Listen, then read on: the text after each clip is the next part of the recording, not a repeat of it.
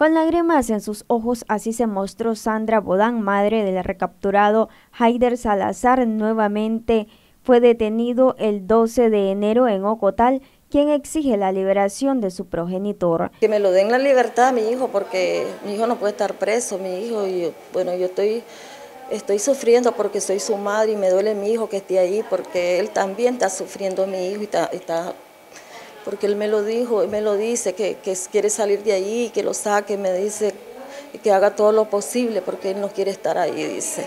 Salazar es acusado de robo agravado. Había sido puesto en libertad el pasado 30 de diciembre bajo el régimen de convivencia familiar. Bueno, él anduvo en marcha, él, mi hijo, sí. Pues por eso está, él, por eso él me lo, la primera vez me lo llevaron a él y me lo llevaron cerca de mi casa, él, la primera vez.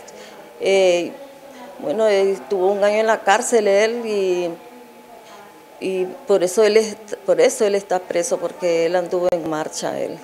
Sí. Bueno, y que, que me lo den, que me lo den porque, porque yo, yo pido que me lo den porque no quiero que mi hijo esté ahí en ese lugar, que él es ese lugar es triste, es, sufrimiento estar ahí en una cárcel, no tener nada.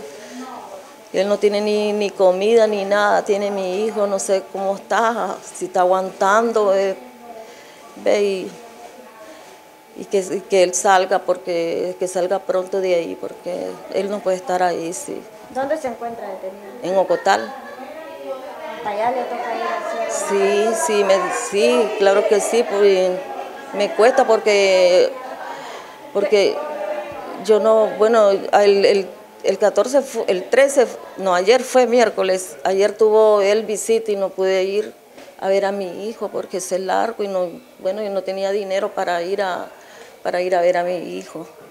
Sí, yo soy pobre, soy, soy sola y, y que, bueno, y que pido la libertad que me den a mi hijo. ¿Cómo se encuentra él de salud? Bueno, está triste, está como yo lo miro sufriendo a mi hijo, porque él, ha él lloró, ha estado llorando él. Sí, eso le duele a la madre.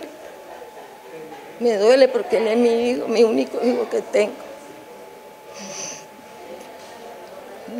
bueno, que, que, Dios me ayude con mi hijo, que me lo cuide de ahí, me lo cuide ahí, en, en esa cárcel que está él.